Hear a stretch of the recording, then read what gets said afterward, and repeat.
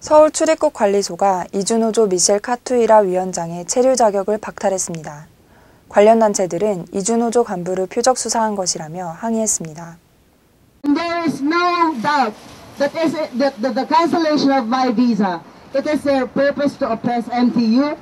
It is their purpose to intimidate the workers 서울 출입국관리사무소는 지난 10일자로 미셸 위원장의 체류 허가를 취소했다며 3월 7일까지 출국을 명령했습니다.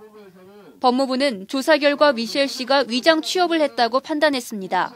체류 허가 시 제출한 내용과 달리 주소지에 회사가 존재하지 않고 근로활동에 종사하지 않았다고 밝혔습니다. 반면 이주노조는 위원장이 적법한 절차를 거쳐 취업했다고 주장했습니다. 이를 이제 와서 문제 삼는 것은 이주 노동자의 노조 활동을 탄압하기 위한 표적 수사라며 반발하고 있습니다.